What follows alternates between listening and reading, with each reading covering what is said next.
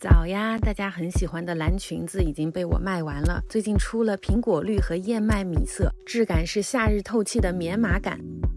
春夏交际的天气，搭配黑西装就能美美的出门啦。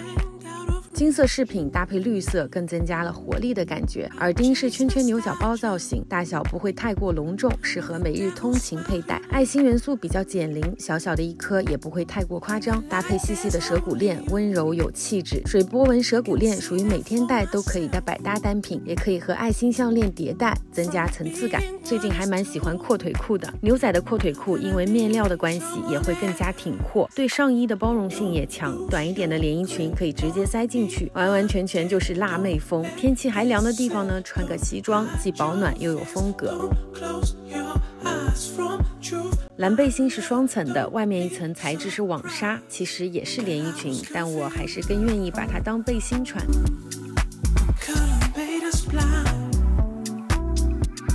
这件针织也蛮特别的，因为它在肩膀上加了一点垫肩，神来之笔，肩膀立马变衣架，手臂也显得更细，整体是温柔的燕麦色，还蛮有反差感的。但是肩膀已经比较宽的小伙伴呢，就不要尝试了，会踩雷。西装裤怎么又是西装裤？可是我真的很爱西装裤。这条因为是澳洲的牌子，也是做的偏长，需要踩高跟鞋。但是这种长度呢，才有大女人的潇洒感呀。腿长一米八，气势两米八。黑色小上衣加了白色木耳边和斜扣的小细节，搭配绿色爱心项链，还蛮符合春天的感觉。Wixi 的衣服其实不是很适合我这种比较扁的体型，我都撑不起来。但是呢，每次又忍不住买。灰色的麻质连衣裙，你们知道的，又被我改成背心。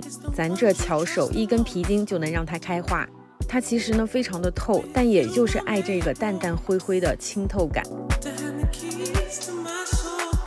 Muse 试衣间的视频，你们看了有没有被五颜六色种草？但我还是独爱这一抹灰，依然是我最近的心头好品牌。其实当时搭配的那件灰色抹胸裙我也很喜欢，不过剪裁不太符合我的身材，所以就放弃了。相比起来，这件灰绿色衬衫就不太挑身材，大方领也更帅气。其实这件还蛮值得说的，之后再专门拍视频给你们好好搭配。